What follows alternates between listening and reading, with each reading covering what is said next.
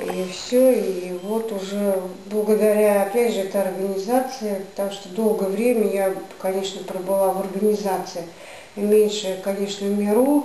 Еще стихи свои. Какие? Какие помнишь?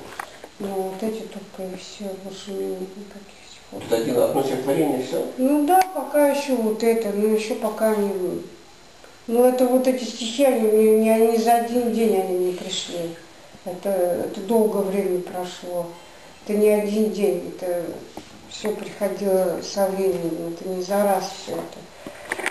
Сейчас ну, меня вот, конечно, эм, я, конечно, не буду хвалиться. Мне еще Бог такие вот мне дары дает, что некоторые вещи могу видеть наперед. Ну, про себя, что могу, вот, знаю, что будет происходить. И что ты видишь? Ну, например, у меня был такой один случай, вот, например, когда я иду по улице и сама по себе рассказываю, размышляю. Вот сейчас я зайду в центр, ну, в то есть преображение, и как бы мне руководитель сразу скажет там сходу, там, ты не раздевайся, сильно не расслабляйся, сейчас приедет милиция за вами, и вы с Юлей, с сестрой с Юлей поедете понятыми. То есть мы с милицией дружили, они к нам приезжали, брали нас понятыми на отдел, ну, по, отдел по наркомании, по борьбе с наркоманией. И, в общем, они приезжали, брали кого надо и возили. И я иду это себе, вот это себе все рассказываю. Сейчас я зайду, и мне все вот это будут говорить, именно с Юлей. Я захожу, и вот то, что я шла, думала, оно вот это на самом деле все вот это пророчество, оно вот это сбылось. То есть я сама себе шла и говорила, что я сейчас зайду, мне руководитель скажет, вот стой-то, сестрой ты поешь именно с Юлей. И точно самое произошло, то, что я зашла, и он мне сразу все вот это было прямо сходу. Я даже не успела раздеться и разуться. И потом еще, вот, например, как вот в преображении есть там, ну, старшие сестры, старшие братья, да, и я вот одной сестре говорю, завтра, говорю, ну, будет падение в центре, то есть кто-то упадет. Она именно завтра? Я говорю, да, именно завтра. Она говорит, а почему именно завтра? Я говорю, ну я тебе говорю, что именно завтра. Она говорит, а кто? Я говорю, ну не знаю, ну кто-то из молодых. Она, да, ну, я говорю, ну посмотришь. И действительно, на следующий день э, я прихожу с, с братьями, я ходила на кладбище, то есть они копали могилу, я им кушать варила, прихожу с кладбища, вот эта самая сестра старшая, которая ей сказала, что будет падение, чье-то будет в центре падения, она, в общем, со своей помощницей пошли в магазин, взяли бутылку вина и напились. То есть я же ей вперед это все рассказала. Такое меня еще бывает. И недавно тоже у меня такое свидетельство было, что это было в Симферополе, э, когда я спала, то есть я не спала, лежала на полу, то сестра другая лежала, это была ночь уже, размышляла о Боге, помышляла, как бы у меня было прославление, песни пела, ну, как бы в уме прославляла Бога. Вот этот свет, который, ну, никогда не работал, вот эта лампочка, она никогда не работала, не зажигалась на потолке. То есть, когда мы заехали в дом, она вообще была нерабочая. И вот я когда лежала, помышляла о Боге и раздумывала вот это все, и прямо резко, неожиданно сам по себе включился свет. Резко. Понимаете? Которая лампа вообще... Я встала, посмотрела, сестра спит на диване. Время было 10 минут второго. Вы слышите меня? Слушай, слушай, слушай. Так, сам по себе включился свет. Резко. Зажегся свет. Ничего. Ну, я думаю, может быть, это мне какое-то было знамение свыше. Что ты, наверное, сюда попадешь. Да не, ну, Навсегда. еще что вообще конкретно, вот именно что через какие-то, прямо сам включился свет, который вообще не работал и никогда не зажигался. Понимаете? Мгм. А лампочка там хоть была? Ну, была, конечно. Но она рабочая была или нет? Ну, вообще, вот этот выключатель, когда его чикали, тыкали, он вообще не, не включался никогда. М. То есть не работало вообще ничего там, ни- ни- месяц, сколько мы там прожили, он ни разу не включался, не загорался. Хотя выключатель постоянно был включен. Ну, может, его кто-то проверял, А потом раз резко так вот чик. И вот и все. Ничего сказать. Пока что. Ну, я вот могу еще добавить, рассказать. Меняйтесь местами. Вот, Женя, ты забыла, вот. Даже ты не чувствуешь, что это вот болтается, но оно будет, знаешь, в эфире, как болтаться. Хорошо, я поняла.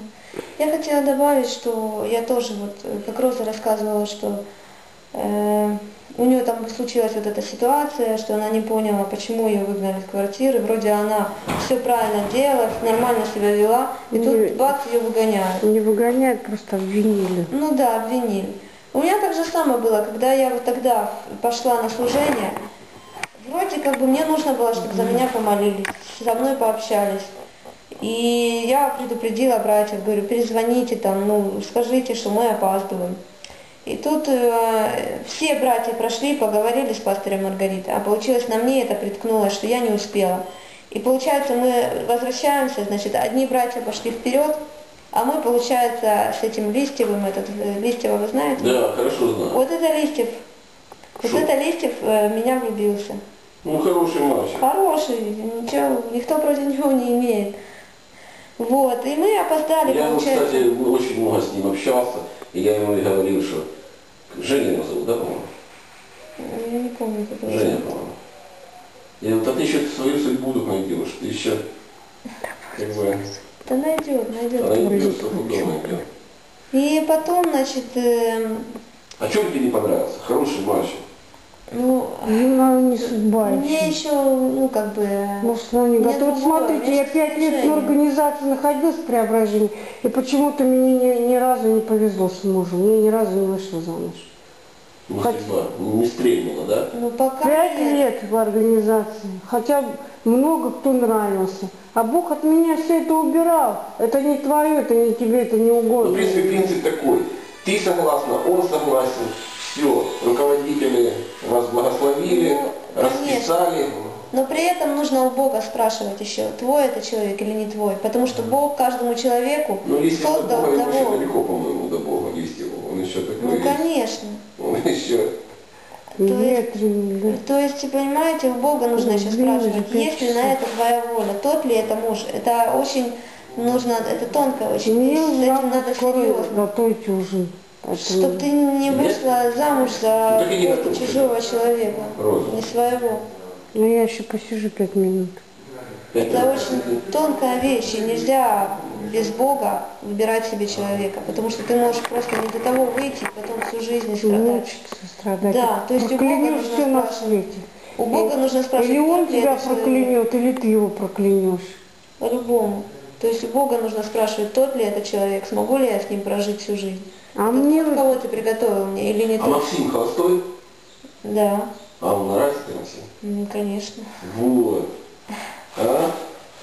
Ну да, он мне с самого начала понравился. Вот Максим такой самостоятельный. вот этот, который в Одессе, Да, руководитель Одесского центра. а, И я сразу подумала, что, ну, как бы я такая спокойная как раз, а он такой там А прямой. он, да, То как раз да. это подходит мне, ну, я так думала, ну, не знаю, там, Передай может, случаем. Привет. Передай. Он может не знает, видишь? Может, может, ты моя судьба. Может, ты его судьба. Не Ну, знаю. только смотрит. что он переезжает в Николая. Бог все усмотрит, я думаю, не будем об этом пока Ну, говорить. как он там же руководитель, как он снимется с руководителей приедет. Будет тут? Николаеве второй центр открывать. А, ну, Ну, быть. время покажет, это ж надо тоже, нас определяют, если мы что-то чувствуем друг другу, то нас определяют по разным центрам, правильно? Расскажи Да. вот. У меня тоже, я влюбилась в одного 29-летнего мальчика.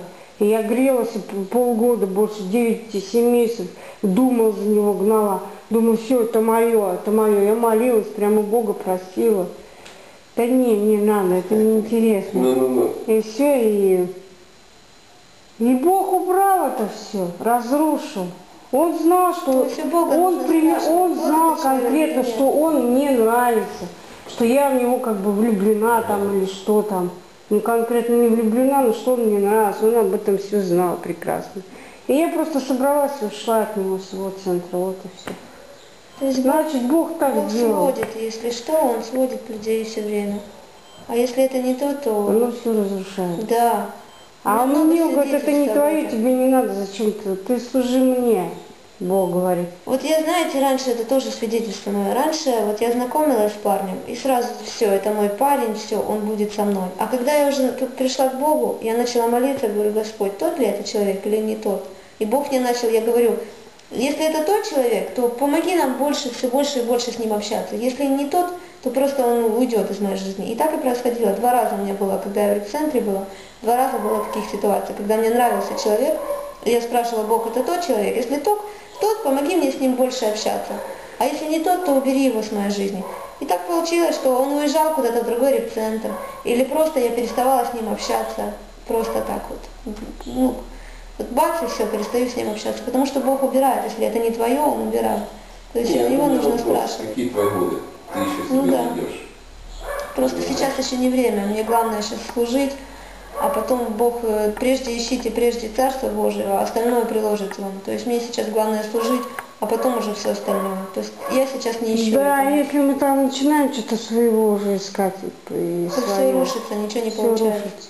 Я вот как все думаю, все, устроюсь на работу, сниму квартиру, уже вроде сняла, эти 400 гривен заплатила, мне еще надо было больше полмесяца там жить, находиться, а меня раз и обвинили в какой-то краже. Хотя у меня даже мысли такой не И я тоже тогда думала, ну почему? Вроде я все нормально сделала. Мне нужно было поговорить с Звонят, Маргаритой. Надо двери тебе Мне открывать. нужно было, короче, как-то двигаться. Двери надо открывать. Выключай. Как он выключается?